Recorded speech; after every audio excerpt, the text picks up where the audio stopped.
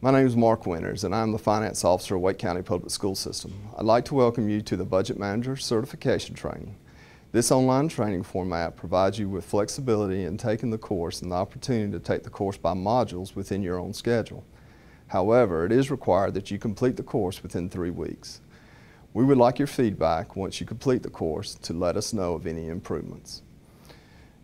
As you are taking the course, if you have questions or have difficulties, please contact our school accounting specialist.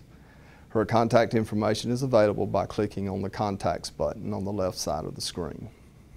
The areas covered in the training include accounting, contracts, compensation services, purchasing, and risk management. Although we'd like to think that anyone taking the training will become an expert in these areas, we realize that the training covers a lot of details.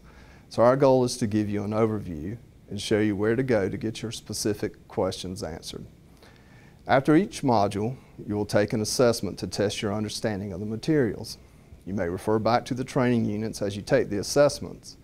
If you're taking the course to become a primary or secondary budget manager, you must complete each assessment with a score of 80% or better and meet in person with our budget department to review budget information specific to your school or department.